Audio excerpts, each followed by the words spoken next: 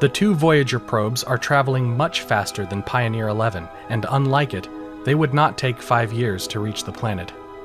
In fact, Voyager 1 would encounter Saturn just 21 months after it had left Jupiter.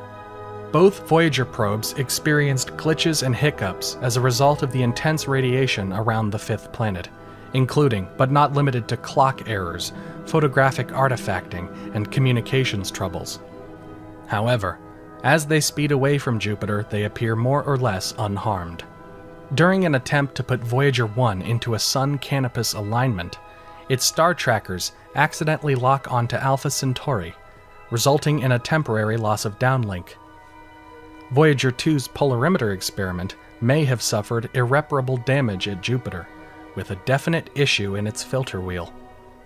Voyager 1's polarimeter had died completely, after tests indicated that it had lost all sensitivity to light.